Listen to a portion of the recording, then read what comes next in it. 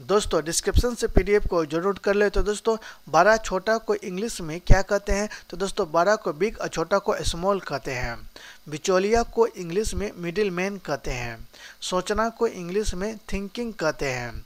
पानी पीना को इंग्लिश में ड्रिंकिंग वाटर कहते हैं। खाना को इंग्लिश में मील कहते हैं। तस्वीर को इंग्लिश में फ़ोटो कहते हैं।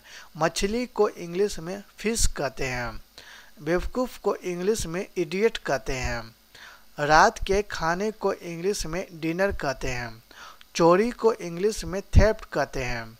सीधी बात को इंग्लिश में स्ट्रेट टॉल्क कहते हैं।